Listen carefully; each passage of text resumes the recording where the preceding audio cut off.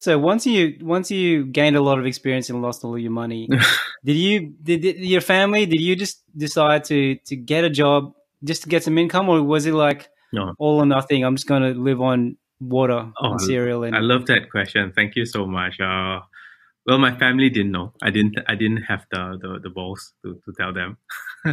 so I had to make do. Um, so what happened was I became a waiter. Um, the reason why I became a waiter was because I think when you empty out your bank account, you kind of have no more money to eat. Um, and I didn't want my parents to know, right? So I became a waiter.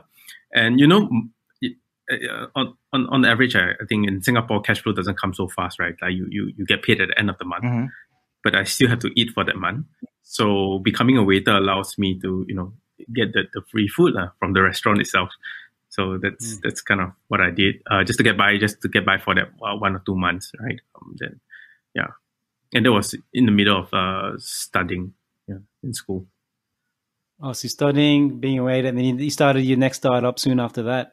Yeah, No, yeah. so I mean Yeah, wow. that to me is kind of like what uh, the your entrepreneur journey should kind of be like because I think making mistakes early on gives you the gives you the strength to kind of carry on, and that's how successful entrepreneurs are, are born. Because if you if you if you may have a modest success at the start, right, you kind of don't know what failure is like, And hmm. if you don't know what failure is like, you can't deal with it when Yep. bigger failure comes your way.